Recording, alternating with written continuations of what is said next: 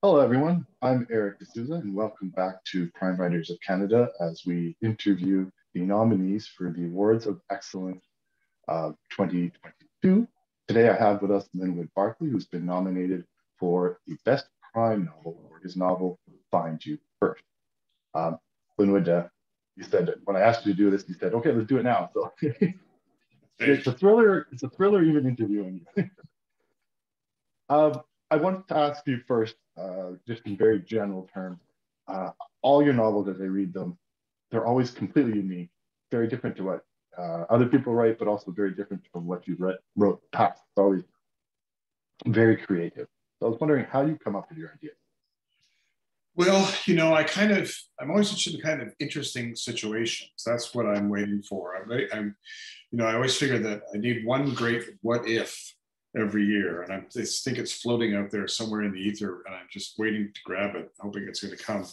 And so I'm always looking for what I think is a, and some people call them high concept, but I don't think of them that way. I just, I'm thinking, waiting to, for some kind of really different idea. And, and, uh, and when I have one that hits me that I think, yeah, I, I think can, can be expanded into a hundred thousand word novel that has there's enough going on that led to that sort of what if situation then and if i can figure out how it happened um, you know what it is that actually happened in the background once i have that sorted out then i'm then i kind of get going. And sometimes these ideas just come out of nowhere. Sometimes they're in part inspired by the news. Sometimes an idea in the news will not be what the book is about but an idea in the news will trigger a different idea, which becomes the book.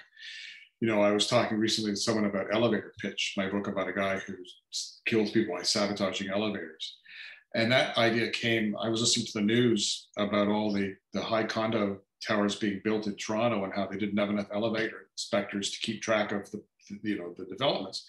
There had been a problem, but they just needed more inspectors. And I heard that item on the news, and it's the idea was there. What if you had a guy who was getting rid of people by sabotaging elevators. So, so you never know when they're going to where they're going to come from or and whatever. But I just I just hope and pray that there'll be at least one a year.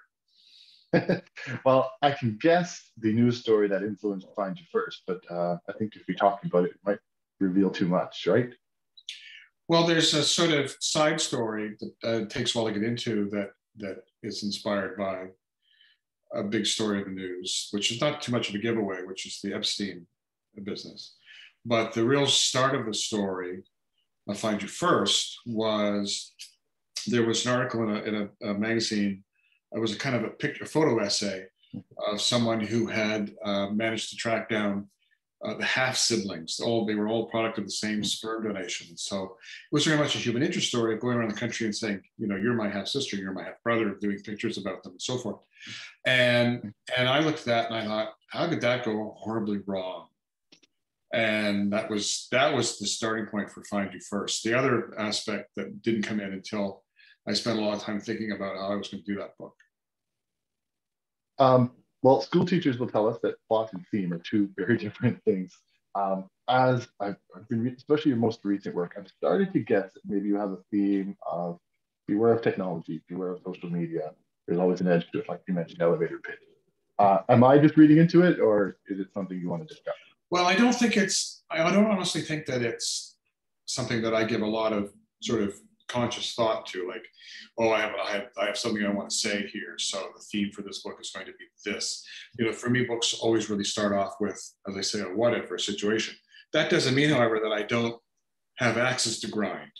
And and so once I get into a book, I think, yeah, here's things that certain things that really piss me off that are going on in the world or whatever, and I'll find a way to weave a bit of commentary or something into the story. I mean, some of my books, more than one, I think, have sort of lamented the decline of the newspaper newspaper industry, where I spent three decades, or you know, uh, the elevator pitch also tied into the kind of polarization, the sort of political polarization that's going on. You know, of this sort of extreme right and and and left on the left and so forth, and how everybody's at each other's throats. That's another thing that, and, and all the whole business disinformation, things like that, which trouble me a great deal. So those things may find a way of, you know, getting into my books here and there.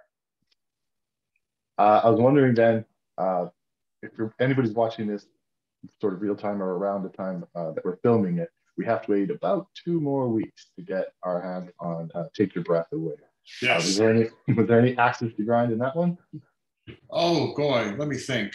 Uh, you know, I don't, I don't think Take a Breath Away has, in particular, there's a couple of minor ones. There's a bit of a sort of the the pandemic is a kind of has a small role to play in that book uh, because it takes place presumably after it's happened. And um, there's a couple mentions about the sort of anti-vaxxer conspiracy types and so forth. There's a little bit of that slipped in, but it's not it's not really a book where I'm sort of pounding away at anything in particular. It's just meant to be a really good puzzler turn pager.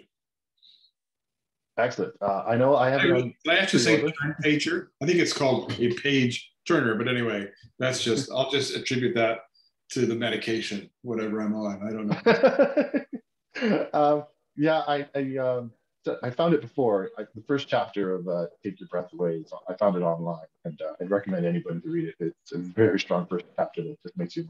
I want to read the rest of the book. Now I have to wait two more weeks before Amazon delivers it to me. So thank you very much for taking the time out to uh, speak with us today, Linwood. It was a pleasure. Always pleasure. Nice to see you. Thank you, everyone. Take care.